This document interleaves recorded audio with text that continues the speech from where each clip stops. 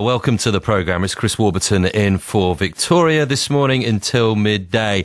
And we're starting with this. If you're a male victim of domestic violence, how easy is it for you to speak up about what's happening to you? How easy is it to talk to people uh, and to try and get help? According to the British Crime Survey, nearly one and a half million people reported that they were the victims of violence at the hands of their partners between 2012 and 2013. That was the total. Around a third of those were men third of that million and a half. This morning we'll be hearing from some of them, finding out what help is currently available and asking whether it's enough as well. Under the terms of the British Crime Survey, just to lay it out for you, being a victim of abuse at the hands of your partner uh, can include many things. It ranges from non-physical abuse, like emotional and financial control, which we're going to hear about in a moment, uh, to more serious sexual assault and stalking. It also includes threats, plus use of minor and severe force as well. And the number of men seeking help, the number of men actually going for help, is on the up. The charity Mankind are reporting a 25% increase in calls to its support line each year. But charities say resources for both male and female victims are becoming stretched. 12 organisations currently offer refuge or safe house provision for male victims in the UK. It's a total of 86 spaces, uh, of which 25 are dedicated to male victims. Uh, for context on that, there are over 260 organisations with around 4,000 spaces dedicated to female victims of domestic violence. Now, in a moment, we're going to hear from two charities who provide help and support for male victims of domestic violence. Um, one of those charities, one of those researchers as well, who we'll speak to, has been looking at the different provision which is ab- available for the different genders. Uh, we'll give you the numbers of those organisations as well in case you feel you might need them. Uh, but clearly, want to hear from you this morning, want to hear your experiences. If you're a man who's been a victim of domestic violence, uh, whichever kind, whether it be physical, whether it be psychological. Uh, perhaps it's a situation you're still in now. Do give me a call this morning, 0500 909 693. Really interested to share your story with everybody else, I suppose, because it can, can be of assistance, as we know when we talk about these kind of subjects. The text number 85058, and we'll use my email this morning, which is chris at bbc.co.uk. The other side of it, perhaps you're listening, um, perhaps you're a woman who has or is still abusing her partner in some way.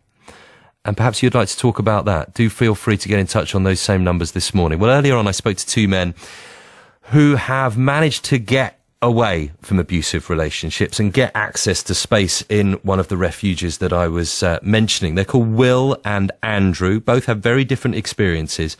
I began by asking Will about the relationship he was in and how the abuse began. Uh, initially, lived with my partner for for seven or eight years before we got married. Um, actually, things things were good. It was a good relationship. Um, everything seems to be going fine. Um, and little things started to creep into the relationship. You know, um, sort of didn't go out. Um, lost sort of my social circles. Um, basically, it was more staying in and being just one on one with my partner, and um, things eventually tightened up from that and, and, went on and on more of a of a controlling um, aspect from my wife. Um, I found myself actually asking permission to do things in the end. Um, when you were actually sort of in that situation, you don't really know what your real life was all about before you started.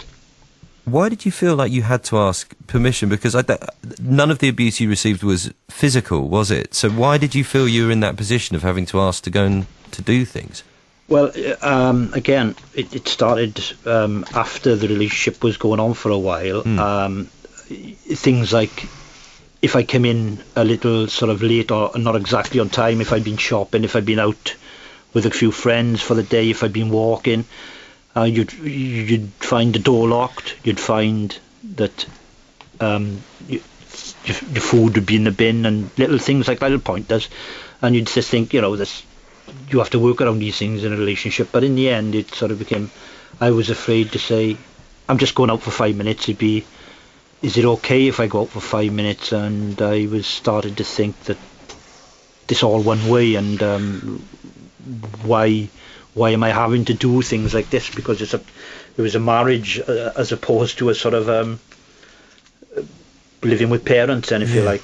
Well, what did you think that? I'm just trying to establish what you thought the consequences would be if you, say, did choose to go out with your friends unannounced, or choose to go and spend some money without permission. What What did you think the the result of that might be? Well, ultimately, you, you think about your relationship ending, um, which which is uh, was to me at the time something I really didn't want. You know, absolutely not.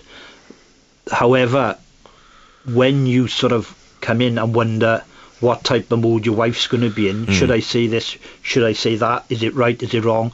And you know, I'm not talking overnight. I'm talking a period of a couple of years, and um, I think she gained the upper hand psychologically, and from then on, it was I was Uh, like a pupil rather than with a teacher sort of thing relationship. So it, it, became, in a sense, all-consuming. That that defined the relationship. Did it? The, the control on you, on your behaviour, and effectively, what you're describing, you know, removing the ability to to kind of make decisions for yourself on a day-to-day basis. Absolutely, absolutely. Yeah. Simply because my wife said, "Look, I'm afraid of losing you," but in hindsight now, looking back at that, it was nothing of the court. She's she was a, a control freak, and there is no doubt about that at all. Did you still love her? I still do, You still do, yes, which must make it even harder to think about what you went through. absolutely, because the uh, the the ending factor for me, although the relationship is over, and I realise that now. Um, she actually, I said, look, we're going through a bad patch. We needed to talk. We needed to sort of sort the relationship out. Uh, I suggested marriage counselling. No, no, uh, we, I can sort this out. I can sort this out. Well, I knew from that day we were sort of damned then, if you like, and I thought, I really started thinking it's time to get out. Um, although I said I'd never leave her, never ever, um, I did. Explain Ah. explain to people how you can still be in love with a woman who seems to have put you through so much. Um, I go back to what I said previously. You know, I was a 13 year relationship. Um, I can say probably only the last four, maybe five years, it really went that bad. Particularly bad over the last 18 months.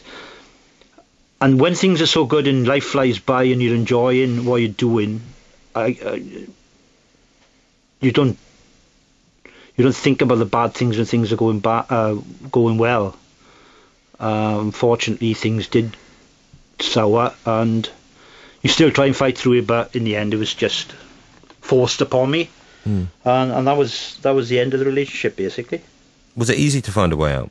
No, um, the situation was, I said to my wife, and this this this is the the crux of, of the relationship. She actually phoned one morning, six thirty in the morning. I was actually leaving. I'd packed the car. She phoned the police and accused me of attacking her, beating her up. Well, it's absolutely rubbish. The police came. They saw it exactly for what it was. They cautioned um, both of us basically, but they took me from the house. That was the last time I was ever there. The the statements were read out. I saw everything, and the police looked. They said, "We've got to follow procedure. Uh, we all, we know what's gone on, so it's best you just stay away." And that that that was four months ago, and to this minute, I don't really understand what can turn a person to do that to someone else who they've lived with for 13 years. You've now clearly, you know, gone on to another chapter of your your life. Um, what are you left with after all of this, Will? As you said, you know, your your wife was controlling access to friends and uh, and and so many other aspects of your life by the sound of things. What, what, It was everything, you know, financially. Um, uh, she took care uh, of all the accounts and uh, basically everything. So inevitably, it's going to go down the legal road. She's still adamant that everything's hers, nothing's mine, um, including the car, the dogs, down to the, the, saucepans and pans, which is, you know, something I don't really want to go to. But when you build up a relationship over 13 and you're 13 years and you're forced, you're forced out of the relationship, then you have to start from scratch, you know, and I'm not a young man anymore, um, so it's going to be quite difficult. But I've set my mind to the fact that that's the way it is. I have to get on. My relationship is over for sure, um, and I can only look forward to to the future and where, for once, in five years, I can say, look, you've got to look after yourself. Well, it's you, um, and you have to move on from here. Mm. Andrew, how much of what you're hearing resonates with you, particularly in terms of this kind of the, the, the pattern of behaviour that people talk about, this controlling aspect that a partner can can put upon another? Well, basically, it's uh, the same incident as well. Hmm. With my ex partner, she was controlling, plus uh, physically hitting me, um, biting me, and also um, locking me out of the flat. Um, and they've been in hospital a couple of times due to the injuries she's uh, given me since we were in a relationship for nine months. And in that time, we've uh, she's physically assaulted me various times in in that time. Which is horrendous. You've been hospitalised on on two separate occasions. You're saying. I mean, what, what kind of injuries did you sustain then? I suffered uh, a cut above my eye, a burned to my chest from a hot drink. Um, I've had bruises where she's literally bit me. Um, and basically, I've had to have ultrasound where I've been kicked in, into your kidney, ribs, and also uh, I've had to try and restrain her, but with her being bigger than me, mm. it's been hard for me to do that. Yes, oh, I, I do feel for you, Andrew. Um, and and you know, like you say, this is this is somebody else who, who's bigger than you. So in terms of how you felt you could respond, you, you know, you're not the type of person to lash out in response. Clearly. No, no. It's something I'd never do. I'd never hit a woman anyway. Mm, mm. But um, it's just a case where I had to just walk away. I couldn't uh, cope with it anymore. Um, so I think what what Andrew's saying is um, is very similar. You know, mm. you, you're actually so involved in making that relationship work. Then you, you it it takes so much time for you to realise that things aren't right. You're in denial. I, I, certainly was, and I think Andrew was. So you didn't you didn't think you were in an abusive relationship at all, Will? No, I I I've talked to sort of counsellors. I've downloaded on people since, and I think you know much the same as Andrew. And it was the one line I kept getting from is why are you continually blaming yourself for everything? Well, it's which I you know it's hard to get out of your mind that mm. you must be doing something wrong. That's why your relationship's not working. But it's absolute, absolutely wrong. You absolutely you didn't you didn't think you were to blame, did you, Andrew? No, um, it was because she had Asperger's syndrome, um, which she tended, it tended to switch her brain on and off over uh, the relationship. Um, I maybe once or twice I did uh, confront her, but um, basically it's just a mental state mm. that caused her to do these things. Did you feel you could talk to anyone about what was happening? Did you talk to anyone about what was happening? I spoke to my social worker about it, and she uh, rang my mother up, to see if I could stay there for a week before coming here, which I did. Um, and she did various uh, ringing round to try and find a refuge that I could go to. Hmm. And this was the only one available at the time. And of course, all my friends are lost due to my ex partner as well. So now I'm just trying to make build my life back up again. And how are you feeling about that? How are you feeling about the future? Um, I'm hoping to go back to the southwest where I came from, Hmm. which um, would be better for me, but, and try and try and make things right again. Yeah. Will, you said you downloaded to people now. You know, clearly you're you're, you're confident at talking about what happened to you now. But at, at the time, I guess it was part of the situation, in as much as, as you say, uh, your partner had been controlling access to friends and family and, and that kind of thing. So, how easy was it to tell people what was going on inside your relationship? Um, excuse me. First and foremost, you know, you don't even know that there are people to talk to. You know, I don't know. The area I, that I come from is very much a, a sort of a male-dominated society. Um, if a man's got a problem, then it's sort of well, you just deal with it yourself. Over the time, you realise that you can't. And I don't think I ever envisioned myself talking about my problems to anyone um, outside my relationship. But when I found out, made some phone calls, looked online um, about the the Dyn Project in Wales and the Gwalia support group, uh, you don't realise that these people are actually there and they've dealt with this over a number of years. And it was actually a relief to talk to these people. You know, just a 10 minute interview in my local town.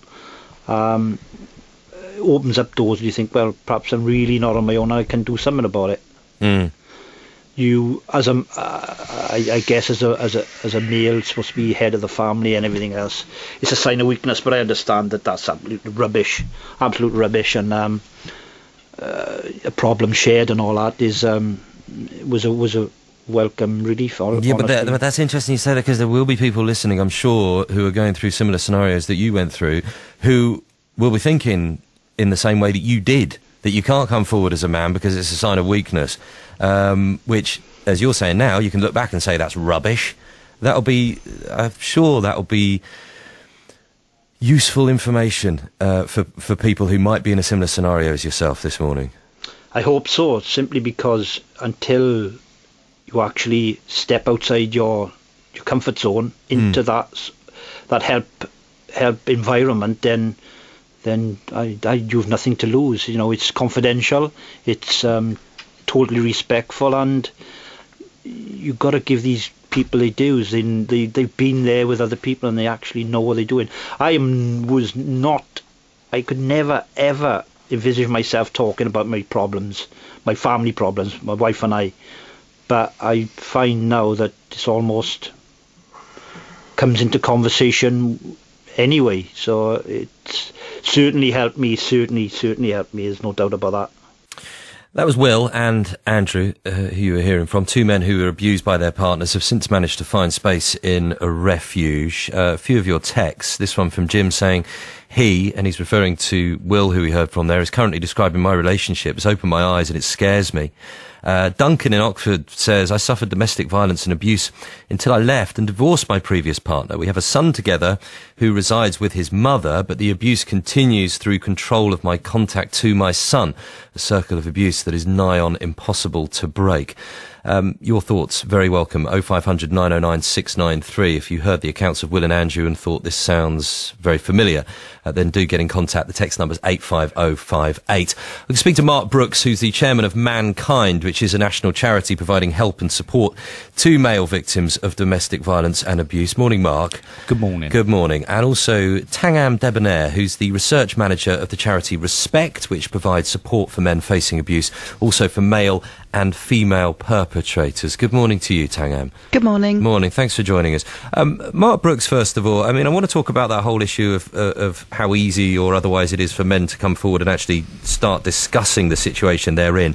But just on that point, but before you even get to that point, I suppose it's it's realizing that you're in an abusive relationship for some. Will was saying it took so long to realize that things weren't right. I mean, clearly in Andrew's case, it would have been more obvious the, the, the extent of the physical harm that was being put his way. But there will be many people experiencing the kind of control that Will describes so well who might not even appreciate they're in an abusive relationship. That would be correct, and uh, certainly from the people that call us, um, we, we find that for many of them, they've been been in an abusive relationship or been controlled for at least five years before they've actually realised. And I think for men, there certainly is the issue around the way that it actually undermines their masculine identity and, and sense of being a man because they don't expect to be a victim of domestic abuse. Mm. So you've you've got to get across through that barrier before you actually start to recognise and trying to escape from the situation that you're actually in. Mm. And that's why the statistics show on the British Crime Survey consistently that men are, you know, twice as likely not to tell anybody that they're a, a victim of partner abuse and domestic abuse than a female victim. But if you're not being physically abused, there will be some people listening to this thinking, well, what's to stop you trying, attempting to take back some of the control that your partner is putting on you?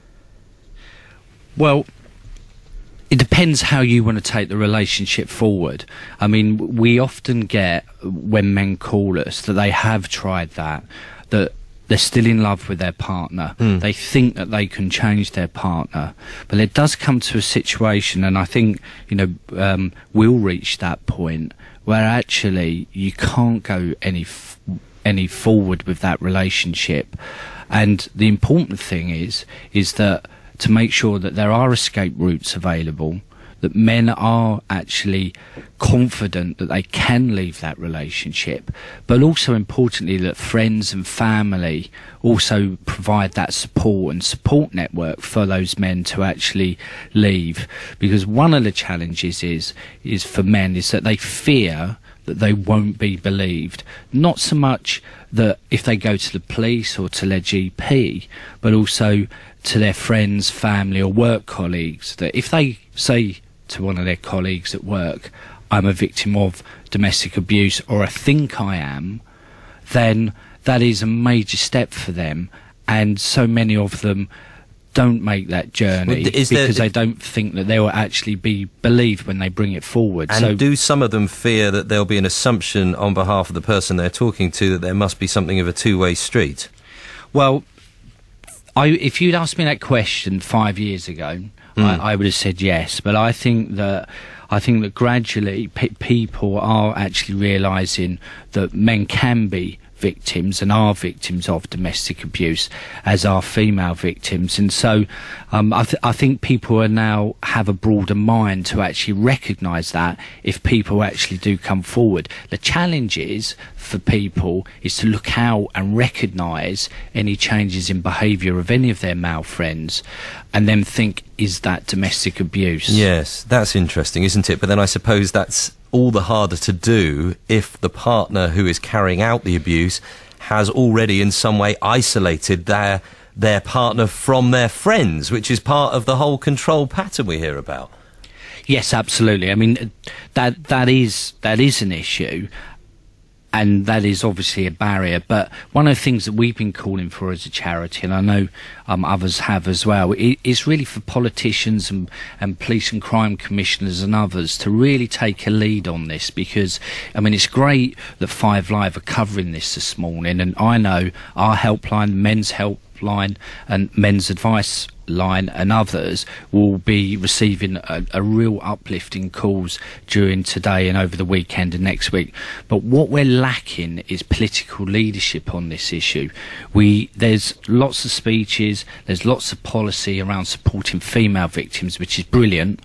and there needs to be more of that. Mm. But it's precious little political leadership on actually supporting male victims. And once that leadership is there, once it's talked about more openly at a higher level in our society, then we will start to see more support services and more men actually realise there are ways to escape. That it is out there. Okay. Um, listen, uh, Mark, if you can uh, hold there for us and uh, Thangam as well, because I know that you've been researching the differing ways that men seek help compared to women, Thangam. Uh, and indeed the kind of uh, support that is available to them. So we'll get into all of that in due course, and we're going to speak to some callers as well. But I think we're going to break for the news first of all. So if you can hold on for a few minutes, uh, I'll be grateful. It's ten thirty-three. Let's get the latest headlines from Rachel. On digital, online, smartphone, and tablet. This is BBC Five Live. Plans to allow unpaid tax to be seized directly from people's bank accounts have been attacked by a group of MPs.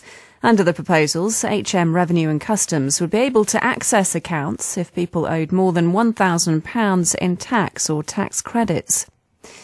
The prosecution is beginning at the trial of Rolf Harris, who's accused of historical sex offences. The 84 year old has arrived at Southwark Crown Court with his wife. His trial is expected to last six weeks. The Co op Bank is to try to raise £400 million to bolster its finances. The part of the bank owned by the cooperative group will drop from 30 to 20%. American military and law enforcement experts have arrived in Nigeria to help search for 200 schoolgirls who've been kidnapped. US officials say they'll do everything they can to free those taken by the Islamic militant group Boko Haram. And 11,000 members of Russia's armed forces have taken part in its annual Victory Day parade, 69 years after the Nazis surrendered to the Soviet Union. In a speech to mark the occasion, President Putin promised war veterans that he would protect Russia and its glorious history. Two o'clock this afternoon, Kermode and Mayo will be joining you as always on a Friday afternoon. Stephen Mangan going to be with Simon and Mark later, live in the studio to talk about Postman Pat the movie, uh, plus Mark's review of Sabotage, Frank, The Wind Rises, and The Canyons as well. So Kermode and Mayo as ever from two o'clock this afternoon. Hugh's got the latest sports news for you. Thank you, Chris. Well, it seems that this moment won't deprive Phil Jones of being part of the England World Cup squad named by Roy Hodgson on Monday. And uh, Figueroa has picked up a knock there. Phil Jones came powering forward. Jones went clattering into Figueroa.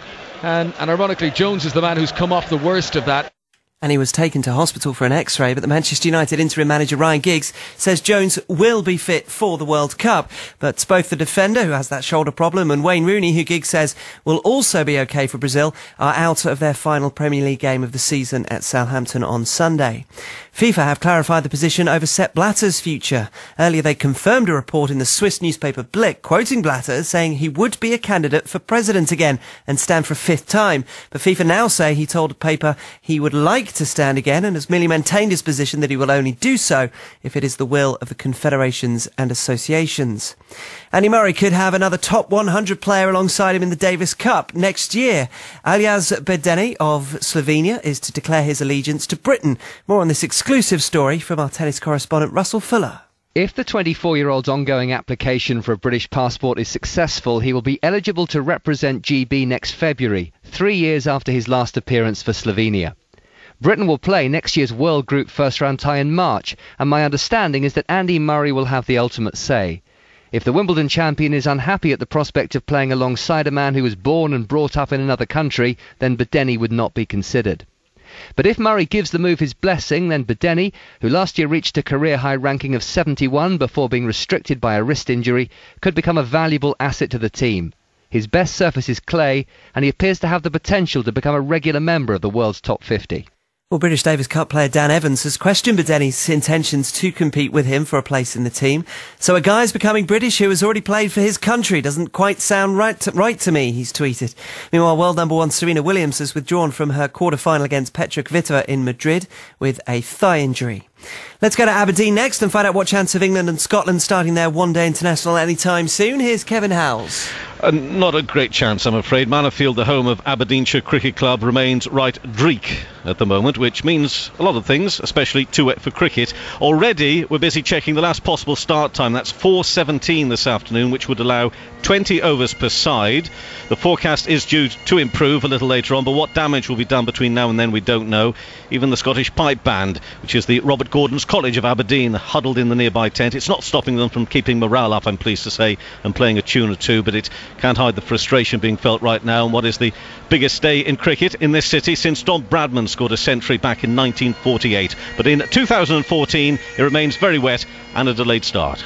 Kevin, thank you. When it does get underway, uh, it'll be on 5 Live uh, Sports Extra between now and then. Pipes, I guess. First practice for the Spanish Grand Prix is just finished with Lewis Hamilton fastest in his Mercedes, more than half a second quicker than the rest of the field. McLaren's Jenson Button was second. Uh, second practice uh, is on BBC Two and the BBC Sport website. It starts at 1 o'clock. This is BBC 5 Live on digital, online, smartphone, and tablet. In travel news, we'll start in Greater Manchester with the M60 anti clockwise. It's because the road is closed at junction 4 for the M56 Sharston link, all because of an accident. Congestion uh, goes back on the M56 actually to junction 3 at Baguley. Elsewhere in Glasgow, the M8 eastbound between junctions 20 and 19, just after the Kingston Bridge. A car's broken down, blocking one lane with slow traffic back to the M77 at junction 22. Falkirk, the M9 southbound, now back to normal between junctions 6 and 5. Also looking better in West Yorkshire on the eastbound M62 at junction 25 at Brighouse. And Lancashire, the M6 southbound between Lancaster services and junction 32 for the M55. An accident and a fuel spillage being dealt with. Two lanes are closed with heavy congestion back to junction 33. Michelle Dignan, 5 Live Travel. First for breaking news. This is 5 Live. We're going to cross to the Commons. Vince Cable is uh, responding to an urgent question about the AstraZeneca takeover bid. And our focus is what, on what is best for the UK, securing great British science, research and manufacturing jobs, and decision making in the life sciences sector. First for breaking news. This is 5 Live. And it's Chris Warburton with you this morning in for Victoria with you until midday. Then it's going to be Tony Livesey joining you for lunchtime from 12 till 2. Uh, we're talking about male victims of domestic violence this morning. According to the British Crime Survey, nearly one and a half million people are reported to be victims of violence at the hands of their partners between 2012 and 2013. Around a third of those were men. We've heard some, uh, emotional accounts from people who have found themselves in very different types of abusive relationships, psychological and the physical as well. And uh, we're hearing from you as well this morning on 85058. David says your first interview with Will reveals how difficult it is to balance your love with a basic standard of civility in an intimate relationship. Some partners have little sense of fairness and combined with an ability to be cruel to others, they can take control of the atmosphere in the home, which erodes and corrodes everything that have been there before. I know because I've experienced it. It's even harder with children because the kinder of the two partners feel they need to protect the children more than themselves. John in Northampton says, I was ashamed to admit that I was controlled by my now ex-wife. Uh, this is one of the most important programs I've heard. It's not a weakness to seek help. Uh, in terms of seeking help, a couple of phone numbers for you if you're hearing this and thinking that you need someone to speak to two numbers for you. Mankind National Helpline. Mankind is the charity uh, that we've been speaking to uh, Mark Brooks from. He's the chairman of that charity. The number's 01823 334 244. So 01823 double three four two double four. That's mankind, and then a helpline which is run by the charity Respect. Uh, it's called the Men's Advice Line, which is 0808 801 0327 0808 801 0327. If you didn't get those down in time, then uh, obviously the programme's going to be up on the iPlayer from about midday. Uh, so listen back to around about this time and you can uh, take down those numbers again. Um, I mentioned the Respect charity. Let's speak to Thangam Debbonaire now, who's been holding on for us, research manager of that particular charity. Uh, morning again, uh, Thangam. Uh, just tell us, because I, I mentioned that you're, you're researching the differing ways that men go about seeking help compared to women. How easy or otherwise, do men find it to get out of these kind of relationships? Good morning, Chris. Well, first of all, I think both male and female victims, as Mark has said, find it difficult for all sorts of reasons. Mm. And that's why we've been running the national helpline, the men's advice line, since 2006. And last year alone, we helped 4,517 callers and 1,548 email um, contacts. So we know that people do need help. And we're really pleased that we and other charities like Mankind can provide that. But as to how difficult it is, I think for a range of reasons, we don't know enough yet about how men's and women's needs are similar and how they're different. We also run a helpline for perpetrators of domestic violence, both female and male. So anyone who's listening who thinks they need help with their own violent behaviour towards their partner can get that help. But for men, one of the reasons we're doing research with the University of Manchester is because we're picking up in our monitoring of our helpline calls that there are some significant differences between men's needs and women's needs. Some things are similar, some things are different. Like what? Give us an idea. Well, Will said it himself. Your, one of your men who who spoke earlier very bravely. I mean, Will mentioned that he lived in a male-dominated society yes. and said that it w- he knows now that it's rubbish to say that men should be head of the family and therefore both men and women need help. But I think what what that resonated for me was that it doesn't help men or women to live in a male-dominated society. It doesn't help male victims who feel that it's difficult for them to come forward, and it doesn't help women either. So I think that's one of the things that's that's important. Will actually pick that up for himself. Yes, I mean he said if you're a man, there's an expectation where I live that you deal with it yourself, yeah. and you can imagine that a lot of people would be thinking that exact same way. Exactly, but I'm pleased to say that many men and women do come forward each year. Men and women can and do have the same legal rights. They do use police protection, housing, and civil law, but there are gaps in services. There's no doubt about it. Yeah, well, you, Plus, we mm. do have a chronic housing shortage. Full stop. Both male victims and female victims are de- dealing with the same difficulties other people are dealing with, and trying to get somewhere safe to live after they've left an abusive relationship. Different different charities have got different attitudes on this. I'd be interested to know what you think because the Women's Aid, the National Domestic Violence Charity, they they they challenge these Office of National Statistics um, figures that we've got here, um, the ones that suggest men and women are pretty close. Uh, in terms of uh, the frequency in which they're affected by domestic violence. That particular charity say the severity, the extent, the pattern of violence is significantly greater for women. They say women are far more likely to experience more than one form of violence from a man. Uh, also, sexual violence as well. I, I, I, don't know. What do you believe the reality to be, given that you deal with both genders? Well, I'm not just say, talking about beliefs. I don't think Women's Aid are either. The actual evidence from the same British crime survey. I mean, you said yourself 1.5 million victims in total, one third of whom are male. So that's a significant number of men. But also, Women's Aid are picking up from the British crime survey, as we do, that there are differences. Men are less likely to experience or at least talk about sexual violence. Men are significantly less likely to be killed by violence violent partner, but that doesn't diminish the importance of helping both men and women. And I know neither Women's Aid nor we would diminish the importance of helping men. And many members of Women's Aid, as many members of Respect, are helping male victims locally. We actually help some of those local services to get better skilled at that. So I'm pleased to say to Mark, I can reassure him, many local politicians and police and crime commissioners are definitely on this and are contacting us for help with improving how local services respond to male victims. So it isn't about belief actually, if you look at the evidence, you can see that the majority of victims of chronic long-term violence are female, but there are also chronic long-term male victims sure. as well. So we have to help them both, but in different ways if they have different needs. Uh, on that, Mark Brooks um, from uh, Mankind, um, that call when a, when a call goes into the police, the police arrive at the scene. Is there a problem still? Because you were saying attitudes have changed. Uh, from your experience, and, and people are, are, seeing this as very much a, a real problem in our society uh, that exists perhaps in bigger numbers than we might have previously thought. When police arrive at the scene, are they thinking in the same way that you're describing, or are assumptions too often made about this, the scenario they're seeing in front of them and who might be responsible? Again, I, I, I, mentioned earlier, if you'd asked me that question five, ten years ago, I would have said that the police would have made an assumption that the female was the victim and the male was the perpetrator. Yes.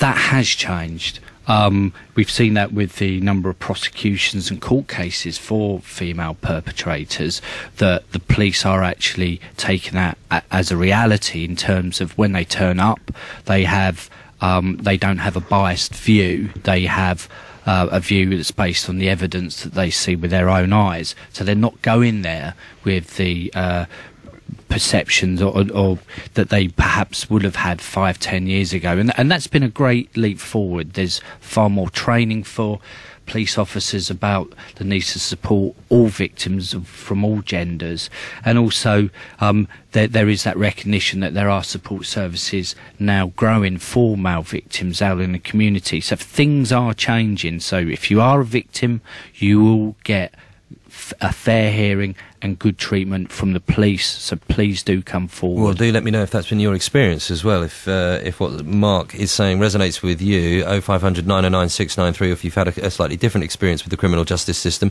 85058 chris at bbc.co.uk is the email. Uh, let's speak to John, who's in the West Country. Morning, John. Hello there. How are you? I'm very well, actually. I mean, this is quite um, this is quite a turn up for the books because I was on the show.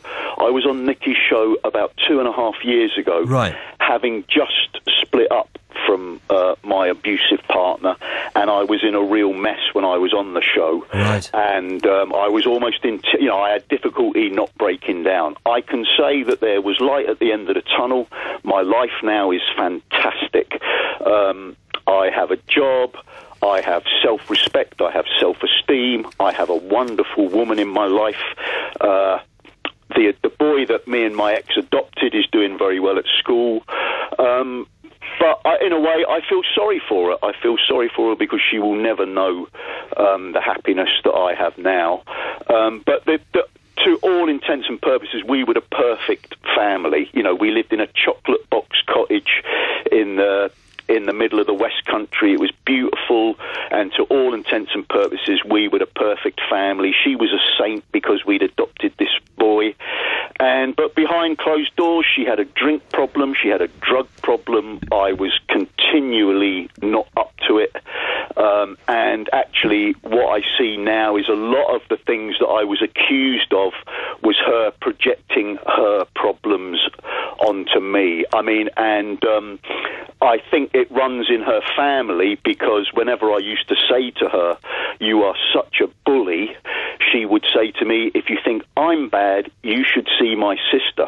Now, her sister's husband committed suicide, and knowing what I know now, I know why he committed suicide. And when I left my ex, her and her sister ganged up on me and tried to get me to kill myself. Um, fortunately, I had good family around me. I had the responsibility of looking after this young, vulnerable boy that we'd mm. adopted. And um, if I hadn't have had any of that, I may well have killed myself. I when I split up from her, I, I try and keep it as brief as possible. When I split okay. up for her, I got in touch with the local council to say, "Look, I'm going to be homeless. I've got a, a young boy with me. We need emergency accommodation." and they gave me a number to phone up. The guy said, "Oh, phone this number." So I phoned the number up, and when uh, the lady picked up the phone, she said, "You first, helping victims of domestic abuse." And I said to her, "I think I've got a wrong number here." And she said, Well, tell me what your circumstances are. I told her the situation and what was going on, and she said, You are a classic case of domestic abuse, you know. Mm. And we met up, and she drew a diagram of the cycle of abuse, and that's exactly what it was. Um, my ex partner was very clever. She's a very sly, devious woman, and she would tell people that I was the abuser and actually, when I think about it now, I was the one that used to hide upstairs in the bedroom and dread hearing her footsteps come upstairs mm. because I knew I was going to get a load of abuse. And what finally did it, and I would advise any guy that is suffering from this, you know, deal with it because otherwise it's just going to go on, mate. And it will be hard after you split up. It will be hard, but anything is better than what you're putting up with now. And what did it for me was my partner, who is a therapeutic counsellor and works for charities dealing with vulnerable children and families, bullied and threatened me into having counselling. And I was a bit resistant to it. And she said, if you don't have counselling, we're through. So I went and had the counselling. The first day I came back from my counselling, she was sat there on the sofa and she had this look of absolute terror in her eyes because the last thing she wanted was the counselling to work. She needed me to be broken so that she could just do whatever she wanted with me. And as the counselling progressed, I realised that actually it wasn't me that had the problems, it was her. And I finally plucked up the courage and I left with nothing. I mean, me and my boy, we left with nothing. And, um, You've been able to you've been able to rebuild, yeah, which is amazing. It's fantastic. It's been fantastic. Well, look- I, I- you know, when when we split up, um, she did things to me that hurt the boy, and that is what I don't understand. Is how she could have done these things to hurt me, knowing that they would hurt him as well. Well, look, John, thank you, uh, thank yeah, you well, I for. would just say any guy that is going through it, it's hell now, mate, and it will be hell when you split up. But a few months later down Yeah. the line, you'll be standing tall. With, the, with, with the love of a good woman, as yeah. you've proved. Well, yeah, you don't, you don't even need the love of No, a no, good- indeed, but in your case, woman is it great, helps, it helps. You're standing straight, mate, on your own two Yeah, feet, yeah. and you're not, you know, you can live your life. Yes, indeed. All right, John. Thank you very much indeed. Uh, John, who's given us a call this morning, 0500 909 693. If you've got a similar experience to John, if you're in a situation yourself which you're finding really hard to get out of, do give us a bell and uh, we'll try and speak to you before midday. 0500 909 693. Thank you to Mark Brooks as well. Thank you, Mark.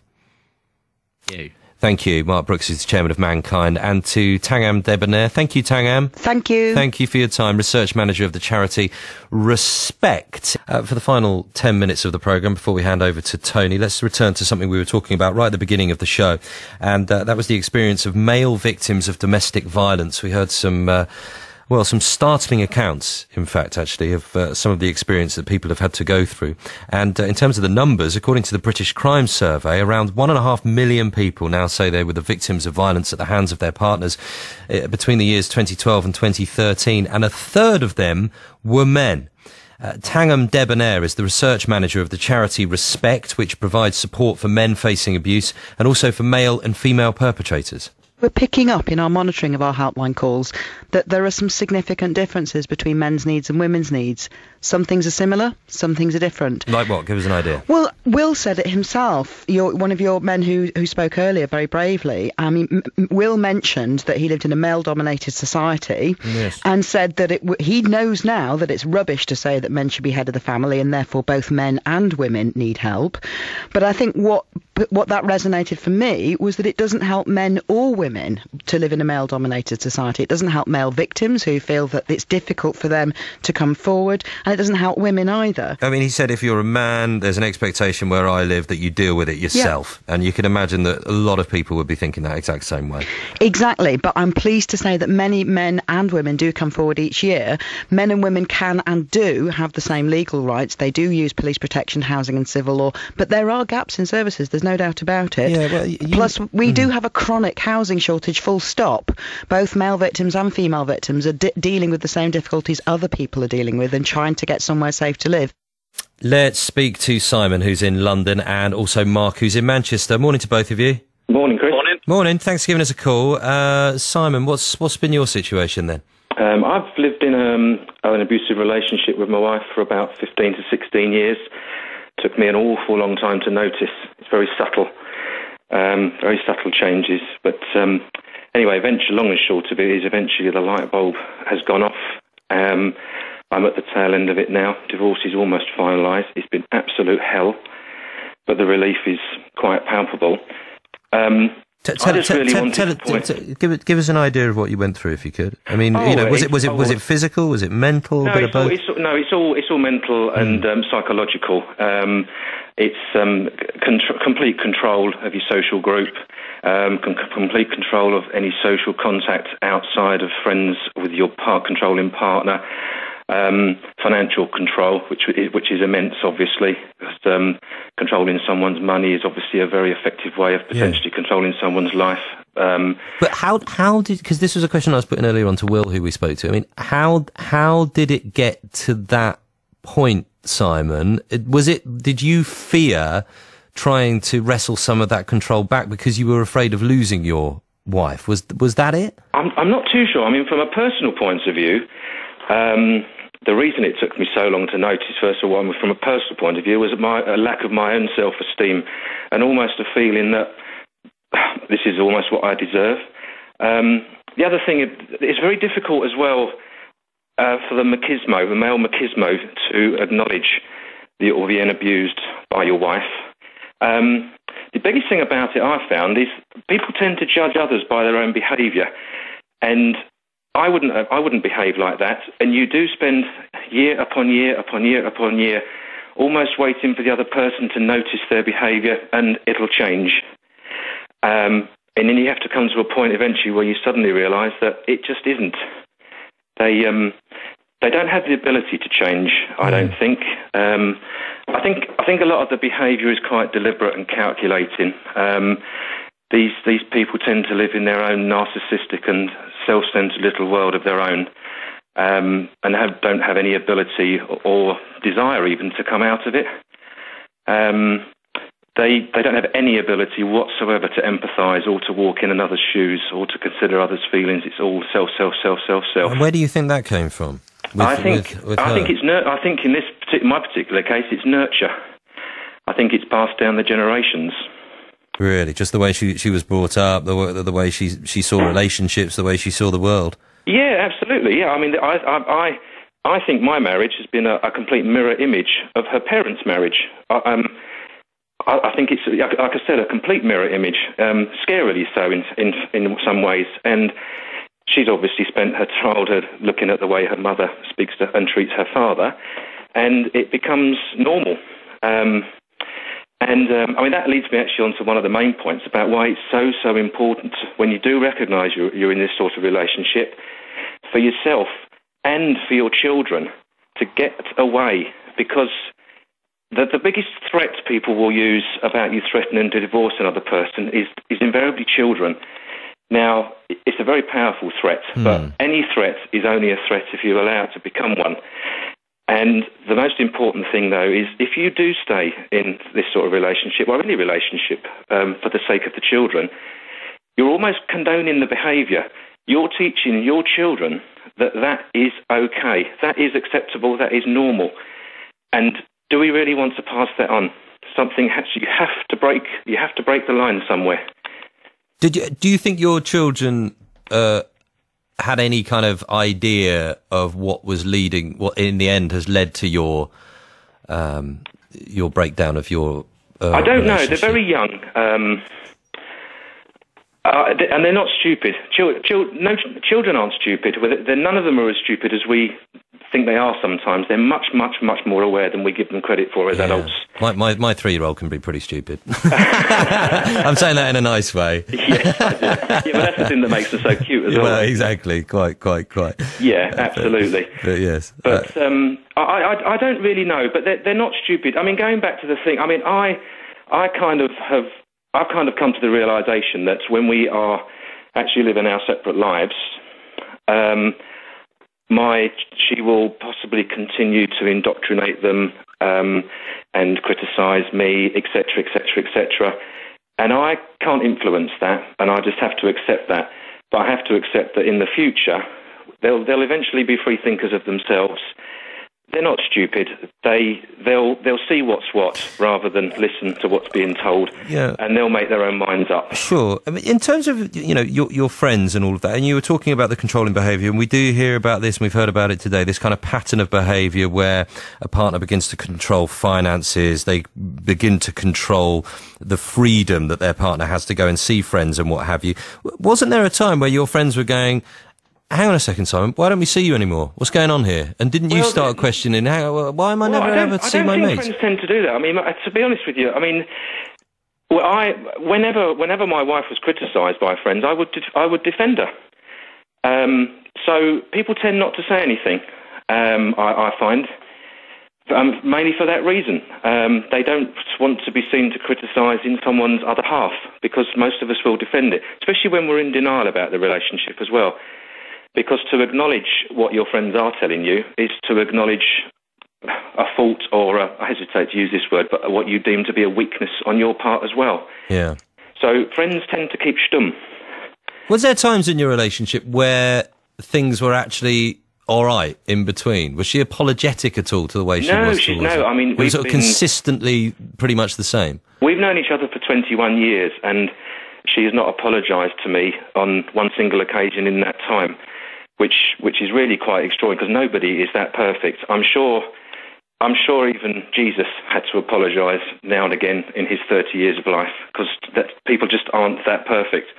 But no, no, there's never been an apology. We have been to counselling, um, albeit much to her reluctance, and um, she doesn't apologise for it. She justifies the behaviour. She doesn't even deny it. She justifies it, and in some respects even admits it.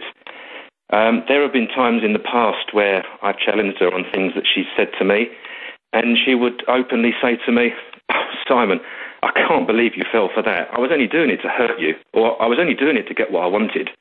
Right. So it's quite deliberate. Right. Okay. Um, uh, it's it's good to speak to you, Simon, and thank you for coming on and uh, and being so upfront with us. Uh, all the best to you. Uh, Thank you.